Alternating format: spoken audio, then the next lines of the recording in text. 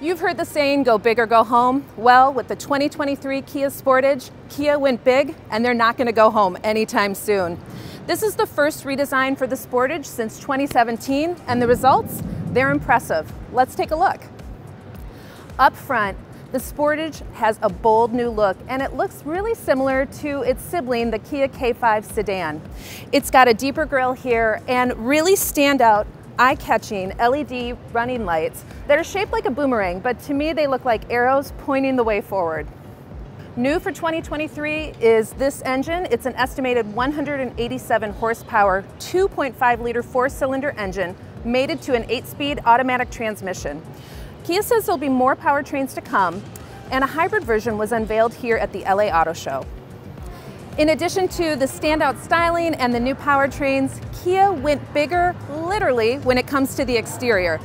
It's now 7.1 inches longer and the wheelbase went up 3.4 inches.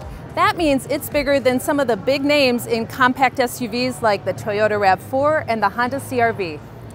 The bigger Sportage is a boon for occupants, especially those in the back seat. Now in the front seat, we have the same legroom as before with 41.4 inches. The driver is treated to a curved digital display with a 12.3 inch gauge cluster and a 12.3 inch multimedia display. Rear legroom in the Sportage's back seat grew by 3.1 inches.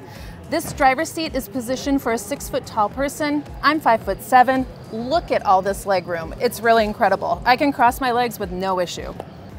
What's also bigger in the Sportage is the cargo area.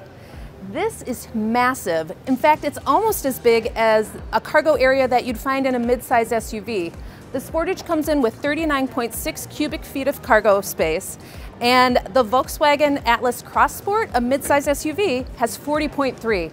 So this is really punching above its class. One last thing that got bigger is the number of trims. The 2023 Sportage can be had in LX, EX, SX, SX Prestige, X Line, X Pro, and X Pro Prestige variants. There's also the 2023 Sportage Hybrid, which has three trims the LX, the EX, and the SX Prestige. The 2023 Kia Sportage is impressive, and I think it's going to give its competitors a real run for their money.